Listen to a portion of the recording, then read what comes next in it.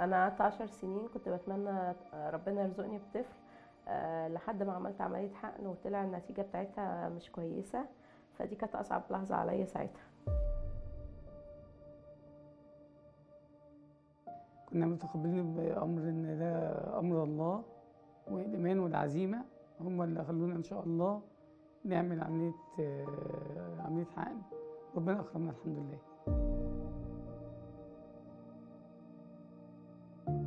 فالحمد لله بعدها عملت العملية وربنا رزقني في فيروز من كتر ما أنا كنت فرحانة ما كنتش مصدقة أصلا. آه، يعني كنت برضو آه، م- متبرجلة ومانيش عارفة. أول ما فيروز نزلت ووقت خلت البيت كله الحزن والزعل والشجن اللي إحنا كنا فيه اتقلب لفرح. لقينا زي طاقة نور اتفتحت لنا يعني. أكتر لحظة حلوة في حياتي لما بكون فيروز في حضني آه، ما تبقاش عايزة تسيبني ما تبقاش عايزة تروح عند أي حد. آه، عايزه تفضل على طول معايا. بحس الدنيا كلها بتاعتي.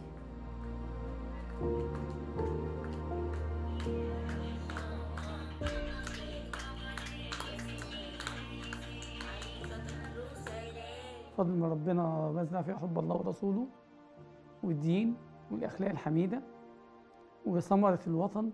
بسم الله.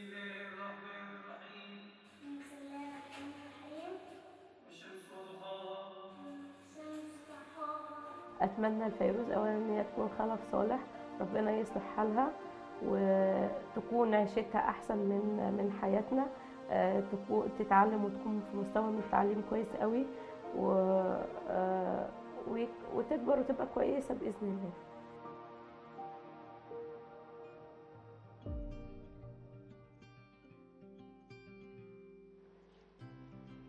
يا حبايبي يا رب يحقق لكم كل أحلامكم. قد إيه متعتونا بكلامكم البسيط اللي يوصل فعلا من القلب للقلب.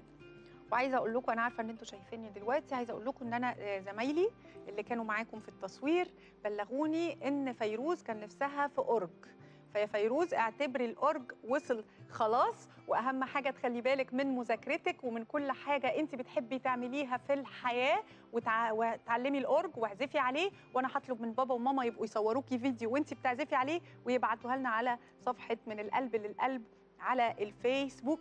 وأطلب طلب أخير من بابا وماما أنا عارفة إن هم بيعملوه بالفعل وهو ده. دعوتهم أنتوا اهتموا بفيروز وادوها كل الحب وكل الأمان.